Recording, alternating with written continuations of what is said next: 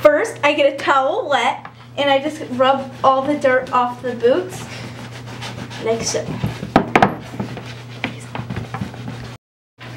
When the boots are all done being wiped off, they should look like this.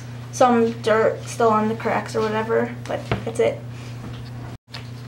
I use Tarrago brand um, Self Shine Shoe Cream.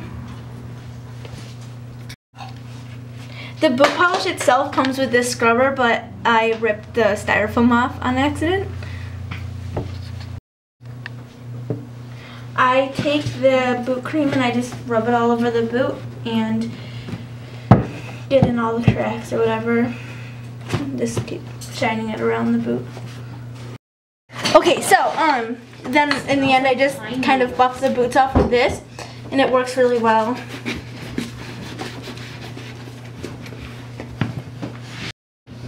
Do you see that difference? Do you?